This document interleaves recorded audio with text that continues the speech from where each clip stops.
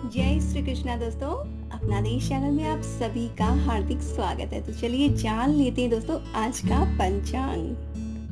दोस्तों, आज है दिनांक 26 अप्रैल, रविवार का दिन है, विक्रम संवत 2077 शक संवत 1942 गुजराती संवत 2076 आमांत महीना वैशाख का, पूर्णिमांत महीना भी वैशाख का, शुक्ल पक्ष चल रहा है, लूनर मास चंद्रमास और आज की तिथि है तृतीया। दोस्तों आज है अक्षय तृतीया। दोस्तों, ये अक्षय तृतीया जो तिथि है, तीस की तिथि है, वो दोपहर में एक बजकर बाईस मिनट तक रहेगी। दोस्तों, अक्षय तृतीया के दिन आपको दान स्नान आदि किस तरह से करना है, इसका वीडियो मैंने आपके साथ शेयर किया फिर डिस्क्रिप्शन ज़रूर से चेक कर ली। और साथ ही दोस्तों, मेरा आप सभी से विनम्र निवेदन है कि किसी भी स्नान दान के लिए आप लॉकडाउन के नियमों का उल्लंघन ना करें। दोस्तों, बहुत से जन जो है, नदी में स्नान करने के लिए घर से निकलना चाहेंगे, लेकिन सभी से रिक्वेस्ट करूँगी कि आप अपने घर में ही गंगा जल या जो भी पवित्र नदियों का जल है, वो ही डालकर स्नान करें। लॉकडाउन के नियमों का उल्लंघन आप ना करें। इसके साथ ही दान के लिए भी अगर आपके आसपास कोई है तो आप दें। अदरवाइज़ आप दान की वस्तुएँ निकाल कर साइड कर दीजिए और स्थिति सामान्य होने के बाद ही दान करें। इसे दोस्तों लॉकडाउन के नियमों का आप सभी पालन करें। हम सुरक्षित रहेंगे तो अक्षय तृतीया तो अगले साल फिर से आ जाएगी। और दोस्तों नक्षत्र की बात करें तो रोहिणी नक्षत्र और इसके साथ ही दोस्तों इस पर बहुत ही शुभ योग बन रहे, छह शुभ योग बन रहे इसलिए इस दिन की पूजा जो है बहुत अच्छे से आप कीजिए, घर में रहकर आराम से पूजा कीजिए, मंत्र जाप कीजिए। रोहिणी नक्षत्र रात को दस बजकर छप्पन मिनट तक रहेगा। योग जो है वो शोभन का, जो कि ग्यारह बजकर पचपन मिनट तक का, दिशा शूल पश्चिम का, अभिजीत मुहूर्त दोपहर में बारह बजकर सात मिनट से लेकर बारह बजकर अट्ठावन मिनट का है।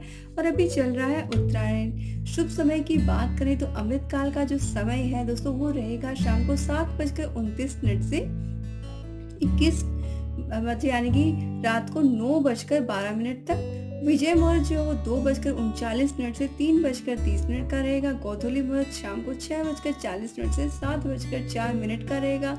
सायन संध्या काल छह बजकर तिरपन मिनट से रात को आठ बजकर एक मिनट तक का रहेगा।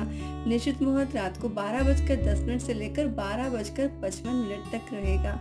रवि योग जो है वो सुबह छह बजकर बारह मिनट से लेकर रात को बाईस यानी कि रात को दस बजकर छप्पन मिनट तक रहेगा।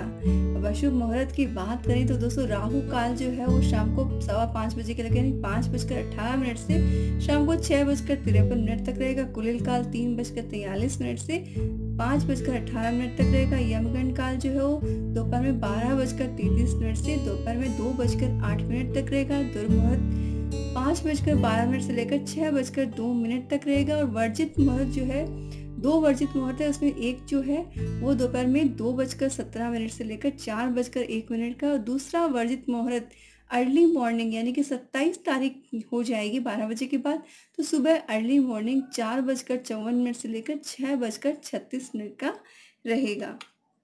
दोस्तों, ये तो था आज का पंचांग।